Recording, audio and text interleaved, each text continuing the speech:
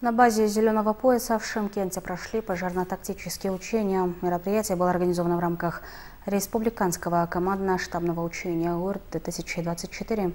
В нем принял участие заместитель Акима города, руководитель ликвидации чрезвычайных ситуаций Дын Каримов.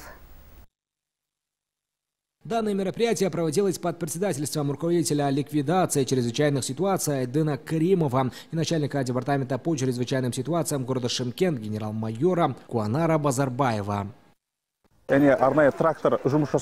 В рамках учения проводился комплекс профилактических мероприятий, направленных на сохранение режима пожарной безопасности в лесах, штабные тренировки с уполномоченными органами и организациями по выполнению основных и вспомогательных задач, возникающих в ходе лесостепных пожаров пожарно-тактических учениях приняли участие службы гражданской защиты города Шимкент. По итогам учения были проведены слушания по подготовке служб гражданской защиты к пожароопасному периоду. Айден Каримов дал соответствующие поручения по службам гражданской защиты.